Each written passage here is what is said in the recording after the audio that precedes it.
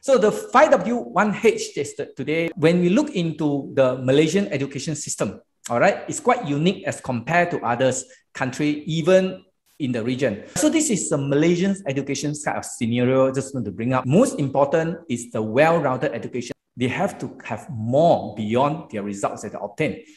So with that, so these are the gap year that the students can get involved, which are often encourage them. That the next questions that we want to ask is that and why we need to send our kids for pre-U. Share with you about this K-12 education system and why is that so important?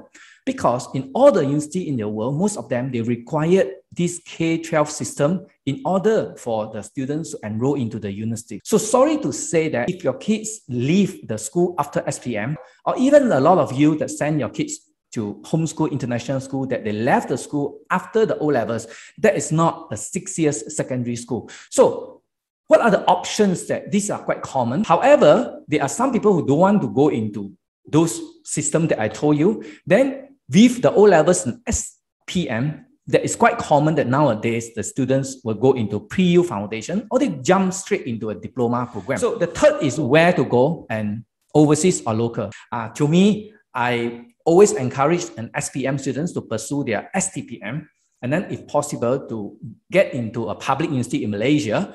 And then it's still recognized we should give an opportunity to our younger generation, our children to go abroad for at least a year, even after degree in Malaysia, just travel abroad for one year of master. That's good enough.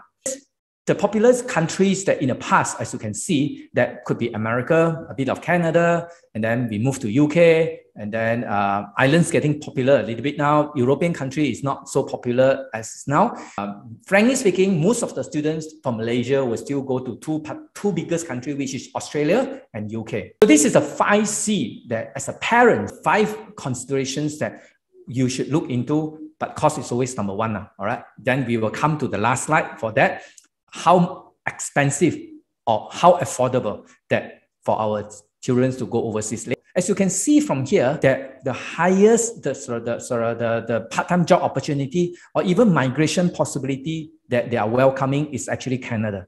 Even though now, any students who go to study in Canada, with a two years of study program, just to share with you, Canadian government is giving out all these students a three years of work visa and the opposite country is actually their neighbor, which is United States, US. Often that people want to ask me about the ranking university, but is that important? Come to the selections of the university, there, there are three things that students and even the parents must know that First, the ranking. But for undergraduate students, frankly speaking, I would say just go to a recognized university which is a public university or even accredited university, that is good enough. So what courses are the future career?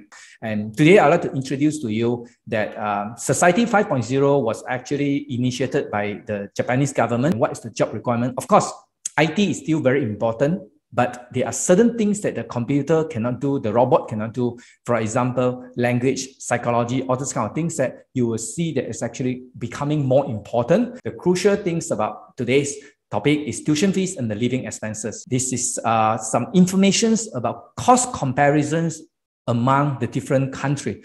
Now, I often encourage people to go abroad, not only for the sake of getting a degree, they should be working part-time because uh, minimum wage rate in a lot of countries is pretty high. And also graduate salary is higher. A lot of countries, they encourage their students to stay back now to work for two, three years in the particular country before they return home, if they wish to return home. So going abroad to study is not just about a paper qualification. It's but about the experience, the exposure, and eventually for their career.